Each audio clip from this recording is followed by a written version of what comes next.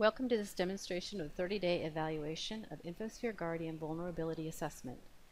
This demonstration focuses on running security assessment tests to help you develop a strategy to measurably improve your database security posture. A holistic data security strategy includes determining what data requires the most protection, securing the repository that holds that sensitive data, managing carefully who has access to the data, monitoring activity on the data, preventing unauthorized and suspicious activities, and reduce risk and protect privacy by obfuscating or de-identifying sensitive data elements.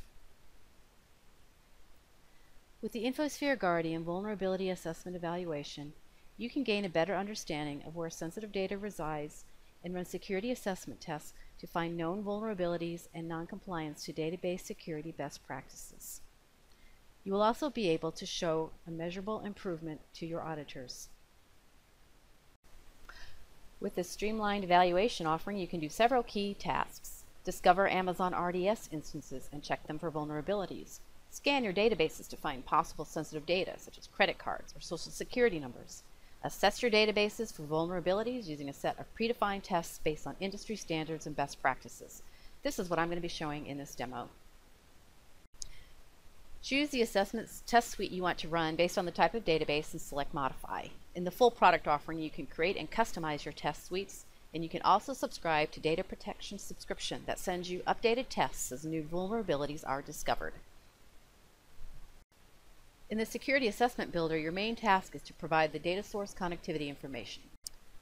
You can either create a new data source or select from a list of existing data sources. I happen to have one already that I want to use.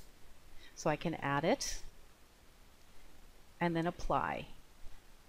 I can add more data sources if I have more than one Oracle to evaluate. Now I go back to the main list of tests and click Execute to kick off the job for this comprehensive yet lightweight test suite. I can see all job activity status here in the job activity report.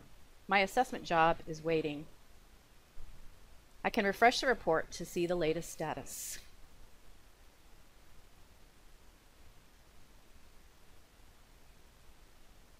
Note that I can stop any running job here by double-clicking on the job.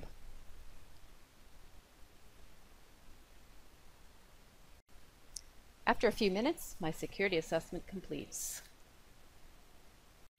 All right, let's, so let's go see how we did.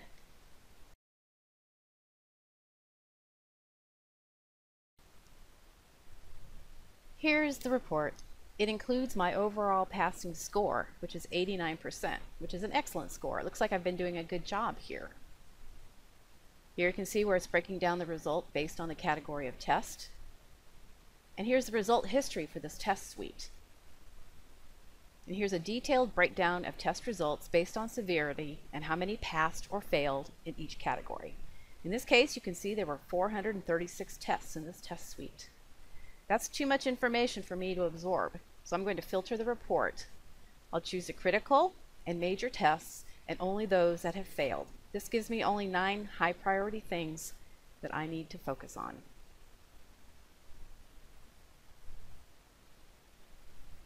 Here are some of the specific tests that failed.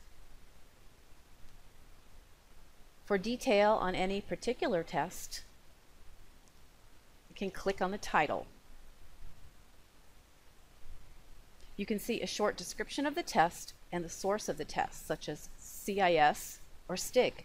You can also see the history over time of this single test. In this case, I think I'm going to change the user and monitoring profiles to ensure that the user is locked out after three unsuccessful login attempts. Then I'm going to rerun this test suite and see if the score improves. Okay, I've changed my profile settings and my security assessment test has finished running. Let's see if I have a better score now.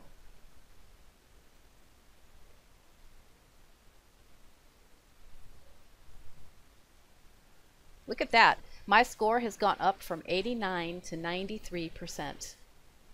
Before I show you how to compare test results, here's how you can exclude a particular test for a specified time window, which might be useful in cases where you have a system locked down to changes or you have some compensating control that you are using instead.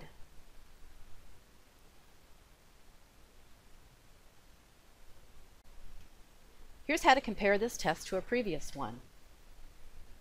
Here I can see exactly what changed from one run to the next. As you can see here, I have three tests that previously failed, which now pass because of the changes I made to the profiles.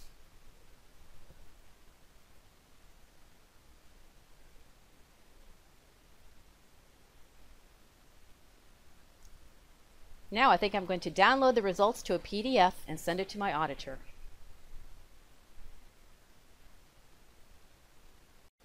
Now that you've gotten a glimpse of how to demonstrate measurable improvements in database security, take the next step and download the evaluation copy today at IBM DeveloperWorks. Try it yourself to find sensitive data on your on-premise databases or on Amazon RDS instances in the cloud.